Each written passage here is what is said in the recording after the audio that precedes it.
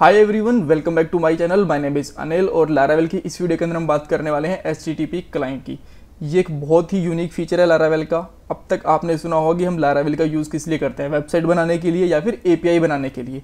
और वो A P कहाँ यूज़ होती हैं? रिएक्ट जेस के अंदर यूज़ कर सकते हैं किसी फ्रंट एंड डेवलपमेंट के अंदर। रिएक्ट जेस हो गया चाहे एंगुलर जेस हो गया या फिर व्यू uh, जेस हो गया इस तरीके से। बट ऐसा भी तो हो सकता है ना कि किसी और फ्रेमवर्क के अंदर ए बनी हो, चाहे वो पाइथन के अंदर बनी हो या फिर चाहे वो नोड जेस के अंदर बनी हो, और वो हमें कंज्यूम करनी हो लारावेल के अंदर राइट फॉर एग्ज़ाम्पल यहाँ पे एक डमी ए है, आप देख सकते हो यूज़र्स के एक ए पी और यहाँ पे कुछ यूज़र के ईमेल एड्रेस हैं फ़र्स्ट नेम लास्ट नेम और कुछ इमेजेस भी दी हुई हैं राइट सो इस डाटा को आप लारावेल के अंदर किस तरीके से यूज़ कर सकते हो? वो आप यूज़ करोगे S T T P client की हेल्प से। ये क्या करेगा, जो आपकी ए बनी हुई हैं, उनको यूज़ करेगा। राइट लारावेल के अंदर हम ए बना भी सकते हैं बट एस क्लाइंट फीचर है, वो एपीआई को यूज़ करने के लिए आपको फ़ंक्शंस और फैसिलिटीज़ प्रोवाइड करता है। राइट आपको एक लाइन पढ़नी है, आपको यहाँ पे सब कुछ समझ में आ जाएगा। Make outgoing S request to communicate with other web application other web application मान लो कि ये एक अदर वेब एप्लीकेशन है यहाँ पे लिखा हुआ है आर यानी कि रिक्वेस्ट रिस्पॉन्स डॉट इन और एपीआई और यहाँ पे एक छोटी सी ए एग्ज़ाम्पल दिया हुआ है राइट तो इसको हम यहाँ पे यूज़ कर सकते हैं एस की हेल्प से। तो कैसे यूज़ करते हैं मैं भी आपको एक एग्ज़ाम्पल के थ्रू बना के दिखाऊँगा पूरा का पूरा। सो so, क्या क्या होने वाला है? एस क्लाइंट होता है क्या? मैं आपको बता चुका हूँ कि एपीआई को कंज्यूम करने के लिए यूज़ करने के लिए यूज़ करते हैं हम लारावेल के अंदर। और कैसे करते हैं वो आपको एग्ज़ाम्पल दिखाऊँगा। बाद में जब हम कंट्रोलर के अंदर हम डाटा ले आएँगे उसको हम सेंड करेंगे व्यू के अंदर व्यू के अंदर से हम फिर हम एक एच टेबल के अंदर यहाँ पे डाटा बनाएँगे और एक पूरी एच टेबल आपके आपको बन के दिखेगी।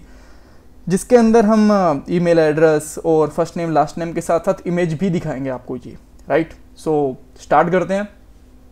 इसको मैं यहाँ पे बंद कर देता हूँ बिकॉज़ मैं आपको जस्ट एक थोड़ा सा पढ़ाना चाहता था इसको कि क्या है एस टी सो इसकी हमें ज़रूरत नहीं है और अब मैं आता हूँ सबसे पहले मेरे प्रोजेक्ट के अंदर। सो so, यहाँ पे मैं सबसे पहले क्रिएट करूँगा कंट्रोलर सो यहाँ पे लूँगा P H P artisan make controller और कंट्रोलर का नाम और मुझे यहाँ पे कोलन्स भी यूज़ करना है एक्चुअली माई बैड और लेट uh, से मेरे कंट्रोलर का नाम है यूज़र कंट्रोलर और हिट करेंगे हम यहाँ पे तो आप देख सकते हो हमारा व्यू हमारा कंट्रोलर हमारा रेडी हो गया राइट और जैसे हमारा कंट्रोलर रेडी हो गया अब मैं क्या करता हूँ इसके लिए एक राउट बना देता हूँ। तो यहाँ पे लिखूँगा राउट कोलन कोलन गेट और यहाँ पे एक, पाथ बना सकते हो इसका यूज़र्स और यहाँ पे आपको पाथ पाथ प्रोवाइड करना है आपके कंट्रोलर का। सो इसको मैं इंपोर्ट करता हूँ ऐप और यहाँ पे लिखूँगा H T T P H T T P then यहाँ पे लिखेंगे हम कंट्रोलर्स और यूज़र कंट्रोलर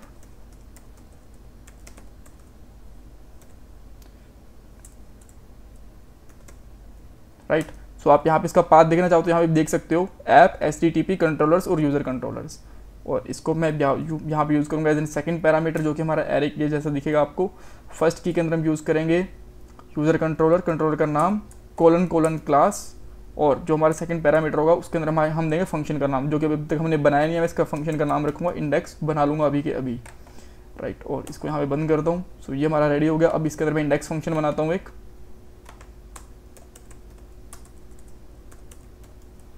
राइट और मुझे यहाँ पे फ़ंक्शन भी लिखना पड़ेगा। राइट और अभी के लिए मैं करता हूँ। एको API call will be here और इसको मैं रन करके देखता हूँ कि क्या इतना रन हो गया है या कुछ प्रॉब्लम है। आई होप ये रन हो जाना चाहिए। सो so, यहाँ पे आप देख सकते हो टेक्स्ट आ गया। अब हम ए कॉल करने के लिए एक चीज़ को इंपोर्ट करेंगे किसको? एस को। सो so, आपको जस्ट सिंपली यहाँ पे लिखना है। Use illuminate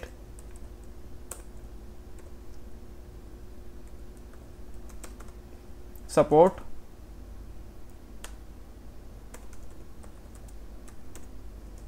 facade.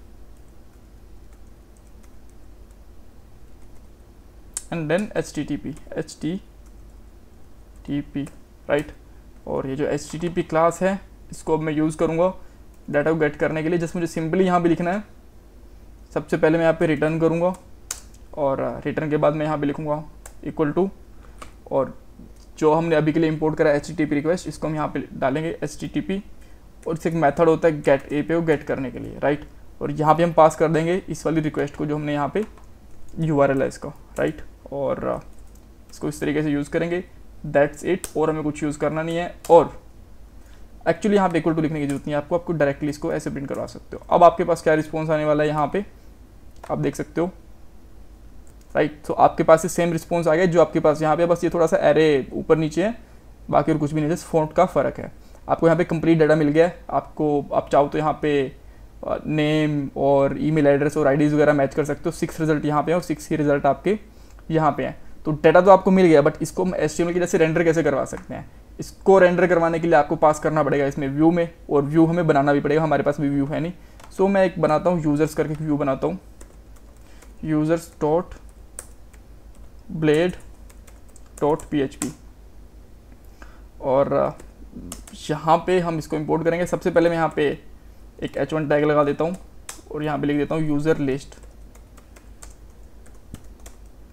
राइट और यहाँ से मैं इसको कॉल करता हूँ और रिटर्न मैं यहाँ से हटा देता हूँ एक वेरिएबल में ले लेता हूँ। इसका नाम लिख लेता हूँ डेटा और यहाँ पे बेसिकली मैं रिटर्न करूँगा व्यू को और इसमें लिखूँगा यूज़र्स और इसके अंदर हम डायरेक्टली एक कोई की ले सकते हैं। लेट से कि डाटा वाली की ही ले लेता हूँ मैं। या फिर मैं कलेक्शन ले लेता हूँ, ज़्यादा सही लगेगा। कलेक्शन और इसके अंदर हम लेंगे डॉलर डाटा राइट आप डॉलर डाटा के अंदर आपने की ले लिया। अब आपको एक चीज़ दिखाता हूँ मैं। जैसे ही आप यहाँ पे आओगे तो देखो, यहाँ पे कुछ, यहाँ पे पेज नंबर वगैरह है, पर जो एक्चुअल डाटा आपका स्टार्ट होता है, वो डाटा की से स्टार्ट होता है, यहाँ से लेके यहाँ तक। एक पूरा पूरा एरे दिख रहा होगा आपको। राइट ये यहाँ पे एरे स्टार्ट हो रहा है और यहाँ पे एरे बंद हो रहा है। सो मैं इस एरो एरे को लूँगा यहाँ पे और इस एरो को लेने के लिए मुझे क्या करना पड़ेगा? नॉर्मल इस तरीके से एरे बना के डॉलर डाटा लिखना पड़ेगा। डाटा क्यों लिखा? क्योंकि इस की का नाम भी यहाँ पे डाटा ही है। राइट सो so, अब हमारा यहाँ पे व्यू रेडी है और इसको कॉल करके देखते हैं। पहले आपको एक नॉर्मल व्यू दिखने वाला है। ये वाला बिकॉज़ हमने अब तक डाटा पास करा नहीं है। अब अभी डाटा हमारा पास हो गया बट रेंडर नहीं करा हमने। सो so, अब मैं यहाँ पे एक टेबल बनाता हूँ नॉर्मल। और यहाँ पे लेता हूँ टी आर टी डी और टी डी के मैं कुछ यहाँ पे कॉलम्स लेता हूँ। थ्री फोर और यहाँ पे लिखूँगा मैं आई डी देन मैं यहाँ पे लिखूँगा नेम ईमेल एड्रेस और लास्ट में प्रोफ़ाइल फ़ोटो राइट और सिमिलरली मैं एक और यहाँ पे इसी तरीके से टी आर लूँगा, क्योंकि ये तो हमारी हेडिंग रहने वाली है और इनको मैं भी डायनेमिक बनाने वाला हूँ नीचे वाली को। राइट तो अब आप आओगे तो आपको यहाँ पे इस तरीके से डाटा दिखेगा। बट ये आपको कुछ समझ में नहीं आ रहा कि ये टेबल है या क्या है तो इसके लिए मैं इस टेबल का बॉर्डर भी दे देता हूँ। अब लिखूँगा बॉर्डर वन अब आपको थोड़ा सा समझ में आएगा कि किस तरीके से ये बनी हुई है टेबल राइट और अब मैं इसको डायनेमिक करने के लिए क्या करता हूँ, यहाँ पे एक फोर ईच लूप लगाता हूँ। और फोर ईच लूप के अंदर कलेक्शन जो हमने यहाँ पे लिया हुआ है राइट और कलेक्शन एज आइटम आ गया यहाँ पे आइटम ले लो यूज़र ले लो, जब भी आपको ठीक लगे, और इस तरीके से यहाँ पे इसको पेस्ट कर लो। और इसको पेस्ट करने के बाद जस्ट आपको यहाँ पे सिंपली लिखना है डॉलर यूज़र सॉरी यहाँ पे डबल करली ब्रेसेस आएँगे डॉलर यूज़र और यूज़र के अंदर आपको लिखना है सबसे पहले आईडी राइट आपको पता कैसे चलेगा कि आईडी ही लिखना है और कुछ नहीं लिखना, क्योंकि यहाँ पे आपको मिल रही है आईडी की राइट सो यहाँ पे आप लगा सकते हो आईडी और ताकि फटाफट से मैं सारा डाटा को रेंडर कर पाऊँ। इन सबको मैं चेंज कर देता हूँ। इसको भी लास्ट वाले को चेंज मैं कर नहीं रहा, उसको मैं वो बताऊँगा क्यों नहीं चेंज कर रहा। और देन है आपका फ़र्स्ट नेम नेम की जगह पे यहाँ पे और यहाँ पे लिख दूँगा मैं ईमेल और अब आपको क्या दिख रहा है, इसको मैं रिफ्रेश करता हूँ। आपको दिख रही है पूरी की पूरी टेबल बट प्रोफ़ाइल फ़ोटो आपको नहीं दिख रही है क्योंकि प्रोफ़ाइल फ़ोटो के लिए हमें मैंने तक कोड नहीं करा यहाँ पे हमें लेनी पड़ेगी आई एम जी टैग और यहाँ पे हम लेंगे बेसिकली डॉलर यूज़र और उसका पाथ इसका नाम है हमारा यहाँ पे की का नाम है अवतार सो so, मैं अब यहाँ पे अवतार लेता हूँ यहाँ पे इस तरीके से और कुछ लेने की हमें ज़रूरत है नहीं. Great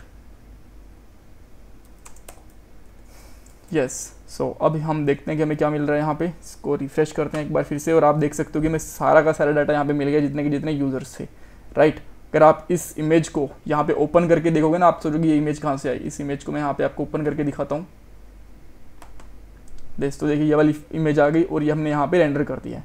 तो इस तरीके से आपकी पूरी की पूरी लिस्ट बन गई है। सो so, हो सकता है कि आपके पास इसमें से कुछ क्वेश्चन हो तो मुझे कमेंट बॉक्स में ये चीज़ पूछ सकते हो। आपको मैं एक चीज़ और बता देता हूँ। कि अब हमने डाटा को जस्ट गेट करा है। हम इसके थ्रू डाटा को यहाँ से सेंड भी कर सकते हैं, एक फॉर्म बना के उसके अंदर हम चाहें चाहें तो डाटा को सेंड भी कर सकते हैं राइट जैसे कि आपको पोस्ट एपीआई बनानी है पुट एपीआई बनानी है सर्च एपीआई बनानी है तो उनके लिए हमें डाटा को कई बार सेंड भी करना पड़ता है। इसका हमने नॉर्मल गेट करा है। ऑल राइट सो अब मेरे पास एक क्वेश्चन है। मैंने अभी के लिए जो ये एपीआई यूज़ करी है, वो मैंने यूज़ करी है कंट्रोलर के अंदर।